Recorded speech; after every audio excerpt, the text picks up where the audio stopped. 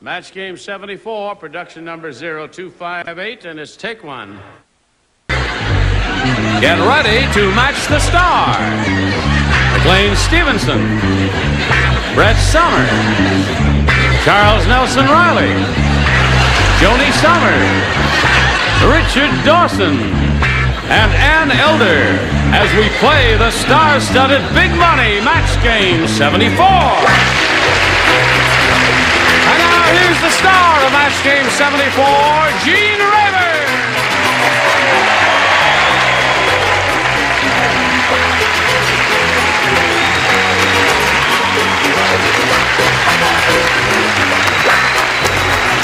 Thank you, Johnny Olson. Thank you, friends. Nice to have you all of you here with us, and it's nice to see all of your bodies. Is, is, is, is everybody ready? Are you oh, present? Take my beads off. It's a war. Listen, I want to say just one word of commendation for all of these people. Each person contributes something terrific in his own way to this program, and I I'm bring sandwiches. and no, and uh, I get you know, the ice. and they have other talents too. Like McLean, is he's written, Ann Elder, as you know, is a writer. As a matter of fact, she was nominated for and won an Emmy for being one of the writers on the uh, Lily Tomlin special.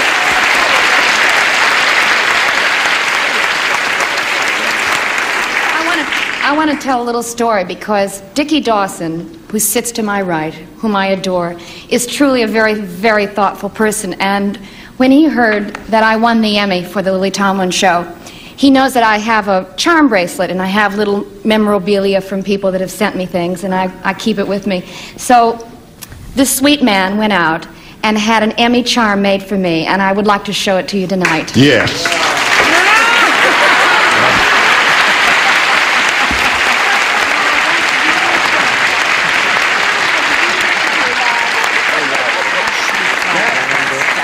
I mean, that's a charm. I've seen charm bracelets, but that's ridiculous. And I, You can't even say bracelet. That's bracelet. I said, charm, that's what it is. It's a bracelet there. Oh, honey, just cut off her wrist and get That's rid of the right. whole Yeah, you can't. You're stuck with it. You gotta be leave it on. Put a diamond in meter and let her stay there a Well, while. a terrific thing to do. She's a lucky lady. Yeah, and she very is talented. indeed, and a very gifted one. And now let's say hello to our two players, Louis Ping Canole and Evelyn Gibson. Last time we were together, we got to the middle of round two. Louis is a current champ. She's won 5,600. Louis, you look different. Yeah, I put my hair down. You put your hair down. She had her hair up uh, the last time we were together, Well, you're and it was blocking held up there To take it with a uh, with a chopstick. Right. Someone stuck a chopstick in her head, and it. Uh, well, you've got you got it together now. That, you know, you've got your work cut out for you. You are the champ, but you're being challenged very, very well here. Evelyn Gibson has matched six of our celebrities, and you've got to match five to stay in the game and achieve a tie. And then we go to a tiebreaker if that happens. We'll find out if that happens or not right after this message. Okay, let's get on with it now and find out what happens here.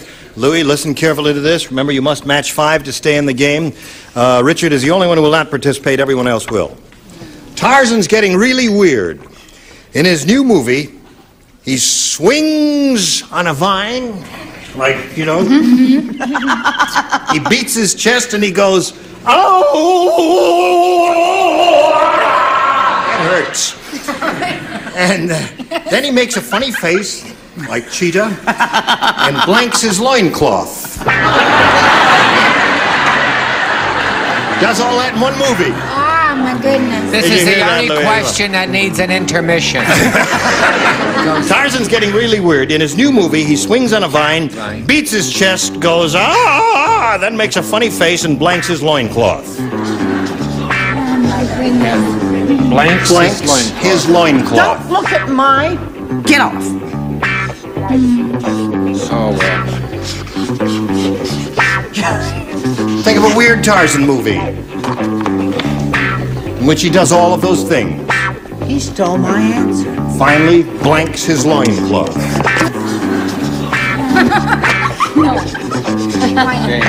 All right, Charles, ready? Present. Here we go. Now, Louis Ping, Tarzan's getting really weird. In his new movie, he swings on a vine, beats his chest, goes ah ah ah, and makes a funny face, and blanks his loincloth. Throws. Throws away his. He throws away his loincloth. Are you uh, booing her answer or a nude Tarzan? Because I don't think he looks so bad nude. Got to match everybody. Let's find out. McLean, she says throws it away, takes it off. I heard that, what she said. I started to spell rips and spelled rurs. of course, I meant to say rips. you spell. So that's no match. That means Evelyn Gibson wins the game. What else have we got up there? Rips off, throws off, flaps. Okay. Come on down. Congratulations.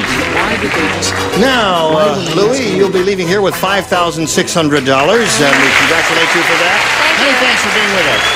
Thank you. Goodbye, Louis. Goodbye.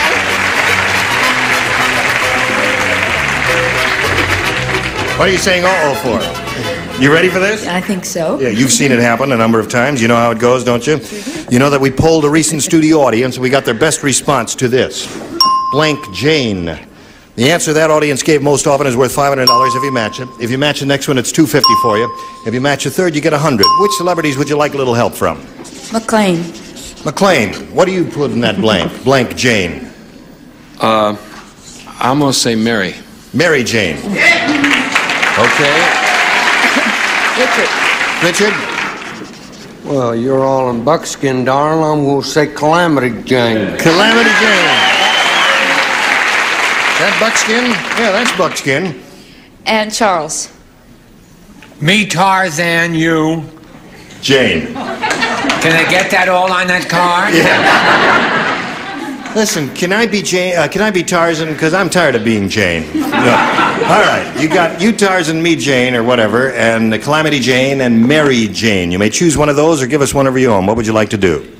Look at me when I'm talking to I'll you. say McClamity. you want to say Calamity Jane? Calamity Jane. Calamity Jane. All right. You agree with that on that? All right. Find out if it's up there, and if so, where. May we see the $100 response? Calamity Jane, right off the bat. Congratulations. I didn't expect it to be down that, that low, did you? No. Well, let's find out what's under the $250 response. Baby Jane. Whatever happened to Baby Jane? I don't know. That's where she disappeared to. What do you think is under the $500? Plain Jane and Mary Jane. Tarzan, you, Jane. Wrong. Plain Jane. Here's the $500 response. Plain Jane. Did you say that? Well, okay. Now, Evelyn, you've got the $100. You'll play for it 10 times I that amount, which is $1,000, and that's not bad. You've got to match one celebrity to collect. Which one will it be? Richard. Okay, Richard, get ready to write your answer to this, and you'll face me if you would. And here we go. Ready? Hand blank.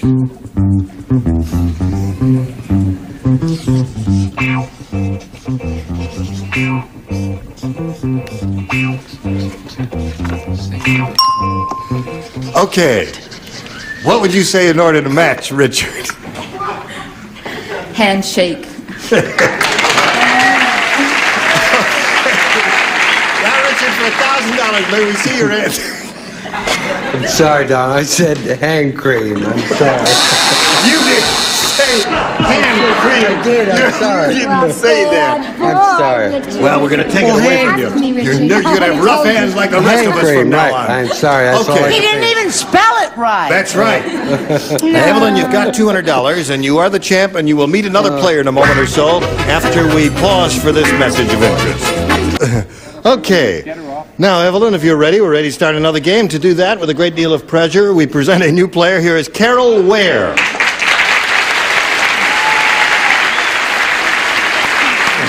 Okay. Carol, would you tell us a little bit about yourself, please? Yes, I'm married. I'm presently living in Vacaville, California. My husband's in the Air Force, and I have two beautiful children. I'll bet you do. Okay. You ready to have a go at it? Okay. Good luck to both of you ladies. Carol, would you make a selection? I'll take B. B. Let's see what that says. Margie said, My boyfriend makes me feel like a real woman. On the other hand, my husband makes me feel like a blank. Margie said that. Well, I don't. What do I do? I don't put any words in her mouth. She said this. My boyfriend makes me feel like a real woman. On the other hand, my husband makes me feel like a blank. Hello, dear. Hello there. You're first again, aren't you? Yes, but I'm become clever in my later hours. Okay. Don't that. I've told you not to do that anymore. It makes my teeth on edge when he does that. Oh, and he presses real hard. Yes, he goes, and it "Ew," and it squeaks. just it's like Make it squeak putting again. fingernails up the blackboard. Well, take them out. Not everybody buys their teeth, Charles. Okay, here we go. have them grow in Carol. Margie said, My boyfriend makes me feel like a real woman. On the other hand, my husband makes me feel like a blank. I'll just go the opposite and say man. Man. Oh, Makes me feel like a man. okay. She said, Makes me feel like a man. What'd she say? Makes me feel like a man. you son of a gun. That's what she said. That's huh? what she said. Well, I'll tell you what I said. What'd you Makes say? me feel like a D-U-M-M-Y dummy. Yeah. Okay. I know. You got the message. Right. All right, Brett. Well, I think it's so interesting that you should have done a portion of my biography on this show. Jack, my boyfriend makes me feel like a woman, but Jack Klugman makes me feel like a drag. It's the opposite. Okay, Charles. Don't I you think dare. it's shocking to air all this in public. I said old maid. Old maid. She said, My husband makes me feel like a man, was her answer. Joanie, what's yours? A maid? A maid. A domestic. All right, Richard. Absolutely. Made in Japan. Any place you want. Well, if you're going to argue about it, it's off. what was the question? Well, Uh, the- I didn't hear what Margie you said, My boyfriend makes me feel like a real woman. On the other hand, my husband makes me feel like a blank. Like a corpse. Like a corpse. Hmm. Tough act to follow, right? It's very tough. You know, I've been off my feet. Yes, this week, yeah. You know, but um, something happened. Um, Carolyn, I just said man. Man! There's a match for you, Carol. Okay, now, Evelyn, we've got this for you. The passenger said to the captain of the Poseidon, I know it's not your fault that the ship turned upside down, but it sure is hard to play blank.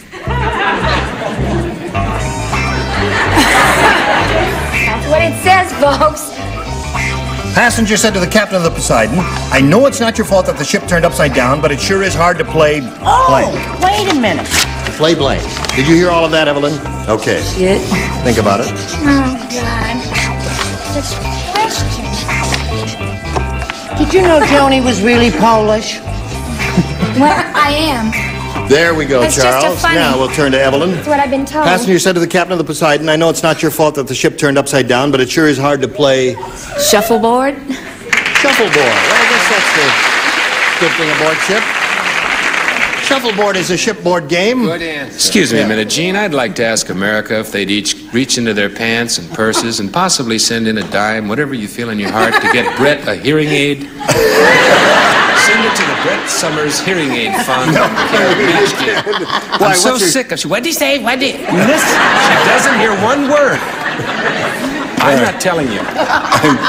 Originally, I was going to say playhouse. Playhouse. But you can't say that on TV, so I went to cards. Cards. Okay. I said cards, Brett. Play cards. That's what I said was cards. All right, Brett, show us your answer. Show the answer, Brett. All right, Brett's answer is. Come on now, show that answer. Ping pong. They're kind of applauding, but not much. Charles. Would you administer some med- medication to the lady, Dr. Uh, Reilly? You know I gave up a career in the legitimate theater for this? I said pool! Pool. Play pool. All right, Joanie. Those are all terrific answers. Mine is not so terrific, but it's jacks. I think it would be very difficult to play. It would be. Wouldn't it? Said Jack, sonny. Jacks. Jack. Okay. Jacks is the answer. It's Dick's turn now. Shuffle, shuffleboard was a good answer that she Yes, it gave. was. All right, Excellent I'll answer. say that then. What Shuffleboard. Say, yeah, but what did you write? Oh, you want it? Oh, yeah. Speak up. Time's up. I've misbeat the clock. I said cards. I'm Cards. okay, and shuffleboard is what she's looking for. Yeah, Dick know said she cards and they pushed the buzzer, honey. And I said checkers. Checkers. We just Okay. So at the end of round one, it's one and nothing in favor of Carol Ware. Round two coming up in a moment, but first we've got this message for you. Okay, here we go. Push a button and reveal two questions in round two and ask our challenger to make a selection.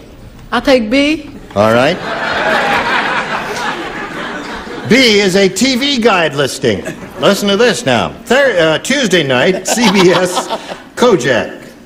A Japanese gardener plants a lawn on Kojak's scalp. Kojak loves the way it looks, but hates it when the gardener blanks his head. now, there are two or three different directions to go in there, as you well know. Did you understand all of that? Did you hear all of that? I'll give it to her, uh, Gene.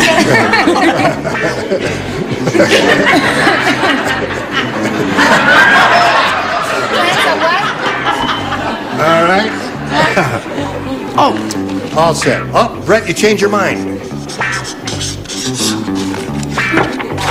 Now we call on Carol Ware.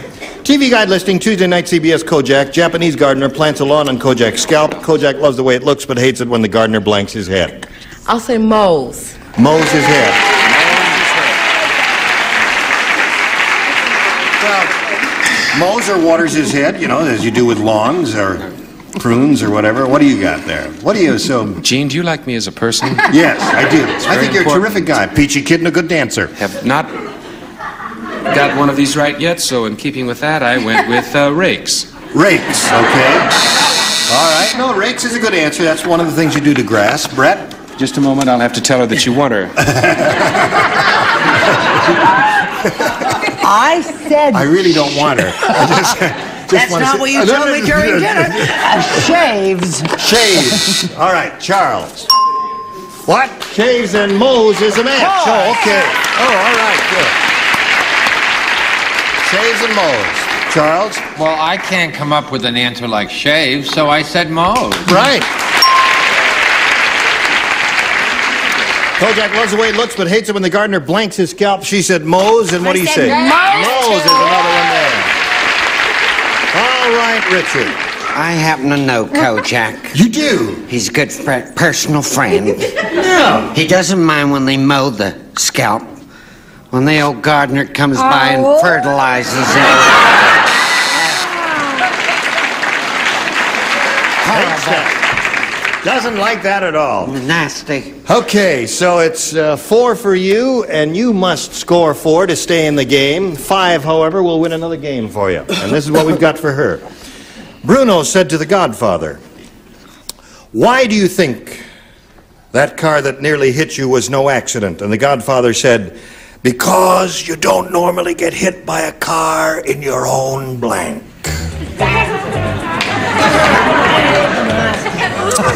You normally don't get hit by a car in your own blank, honey. That's the part I heard. Bruno said to the Godfather, Why do you think that car that nearly hit you was no accident? And the Godfather said, Because you don't normally get hit by a car in your own blank. Oh, I get it. All right? How we doing over there? How you doing, Ann? I'm fine. All right, everybody set. Evelyn. Bruno said to the Godfather, Why do you think that car that nearly hit you was no accident? And the Godfather said, Because you don't normally get hit by a car in your own Driveway. driveway. She said driveway. You did it again, eh, McLean? Yeah, yeah, sure. Did it again. You know, my dad said, why don't you wear a tie, hon? If you're not too bright, you could look good. Possibly should have listened to the man. Yeah. I said bed. In your own bed. That's a good answer. The audience likes your answer, McLean. About a five on the laugh meter. Brett? I don't like McLean's answer because I don't think it makes a lot of sense if you're behind the wheel of a car. But I like my answer. What? Yard. In your own yard. That's That not does- a match. that does not match I don't driveway. care about you and your buzzer anymore. Yeah. Now, I'm finished uh, with Evelyn, you. you must match the remaining me. celebrities to stay in the game. Charles? Well, I'm not gonna be a stinker. Drive. Driveway. There's one for you. How about you, my dear? How about me, my dear? Yes. I didn't get it either. I got house. In your own house. So, Carol wins again. Congratulations. Come on down. There's $100 for you. You're off and running. Well, we've got to say goodbye to Evelyn Gibson. She's going to leave here with $200 together with our thanks for being on Match Game 74. It was fun. Thank Hope you enjoyed it.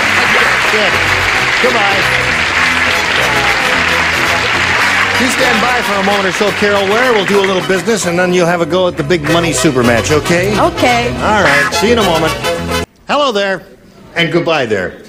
Is it over? It's over. Time flies, doesn't it? Certainly does when you're Yes. having fun. Did you have a good time? I'm always having a good time. Don't That's forget good. the hearing aid fund, folks. Keep those card letters coming. I hope you'll be able to join us next time for Match Game 74. Gene Rayburn here. Goodbye.